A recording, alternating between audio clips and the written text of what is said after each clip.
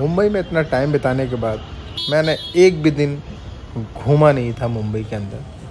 तो सडनली मैंने प्लान बनाया वैभव के साथ, जो मेरा रूम पार्टनर है, कि भाई आज चलते हैं चर्च गेट और मुझे आज ताज होटल देखना और मरीन ड्राइव देखना हम लोग निकले और ये आप देख ही रहे हम लोग जा रहे हैं बहुत अच्छे से पूरा कैप्चर करते हुए और ये आईफोन की वीडियो आप देखिए और इस पर लाइक ज़रूर कीजिए।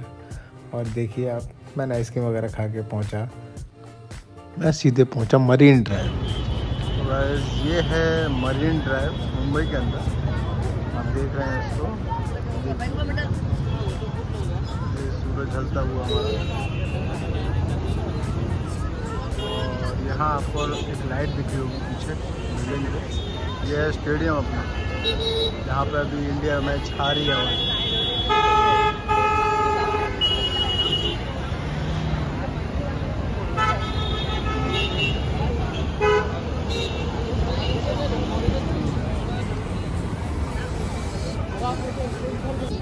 तो आप देख ही रहे हैं। और ये आप जो पत्थर देख रहे हैं, ये रशिया से मंगाया गया था। जब यहाँ पर ब्रिटिश रूल था तो ये हमारे इंडिया में लाया गया था। तो आप देख ही रहे हैं इस पत्थर की खूबसूरती कितनी अच्छी है। और ये जो सन जो आप देख रहे हैं, बहुत ही सुकून की जगह है। और ये वैभव जो मेरे साथ आया था, देखिए। उसके बाद हम लोग निकले आगे की तरफ़। और ये जो एक ग्राउंड पड़ता है चर्च गेट के पास ताज होटल जाएँगे और चर्च गेट के बीच में ये ग्राउंड पड़ता है। बहुत ही उमदा ग्राउंड है घंटा घर के पास। देखिए आप, इतना प्यारा व्यू आ रहा है ये।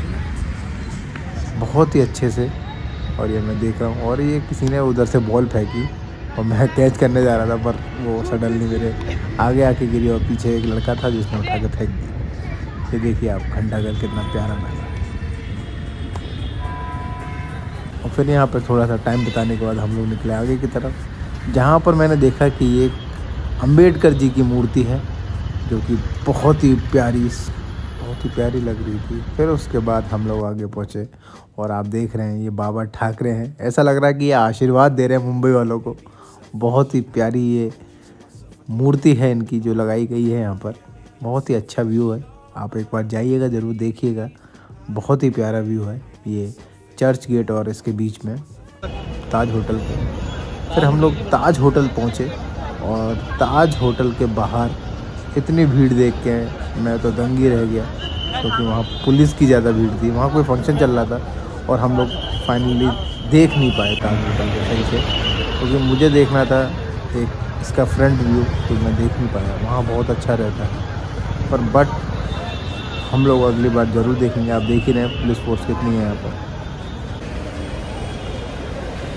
तो गाइज़ हमारी जो किस्मत थी वो बहुत ज़्यादा ख़राब थी, जो कि आज हमारा ये गेटवे ऑफ़ इंडिया जो है वो बंद है। तो मैं आज नहीं घूम पाया सही से।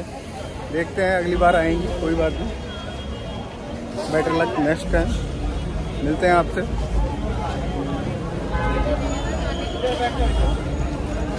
Yo man gateway of India नहीं देखने के बाद हम लोग वहाँ से वापस आए और मैंने ये व्यू एक कैप्चर किया है जहाँ चंद्रमा और सितारा एक साथ हैं।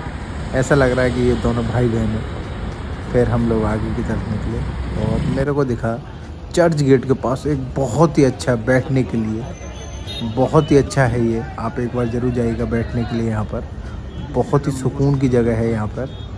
चर्च गेट के पास। मुंबई आप जाएँगे तो ये अंबेडकर जी की मूर्ति के पास ही था। यहाँ पर आप देख रहे हैं, बहुत ही सुकून भरी जगह है। मुंबई में घूमने के लिए इतना कुछ है कि आप थक जाएँगे पर पूरा घूम नहीं पाएँगे। और मुंबई में ज़्यादातर हम लोग नहीं घूम पाते। घूम हम इसलिए नहीं पाते हैं क्योंकि हमारे जो टारगेट होता है वो बस अपने एम को लेके होता है, इसलिए हम घूम नहीं पाते। ये है चर्च गेट का स्टेशन। और ये लोकल है जो मैं दिखा रहा हूँ आपको पीछे नज़र आ रहा हूँ ये लोकल ट्रेन चलती है यहाँ पर बहुत प्यारी लोकल ट्रेन है यहाँ की जो अपनी मेट्रो है, वैसी यहाँ पर आपकी ये लोकल ट्रेन है। देखिए अच्छा। जो मैन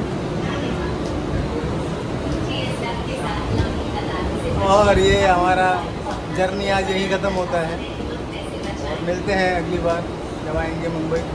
तो गेट वे ऑफ़ इंडिया ज़रूर दिखाएँगे, ठीक है?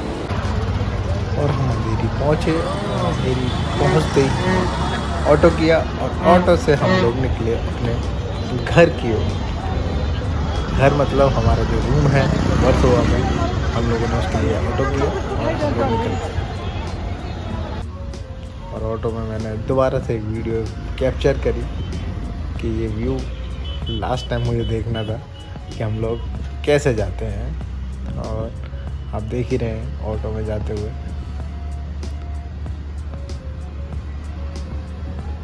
बहुत अच्छी मार्केट लगती है, अंधेरी में, बहुत ही प्यारी। तो जिसको मन करे वो जाके अपनी शॉपिंग कर सकता है।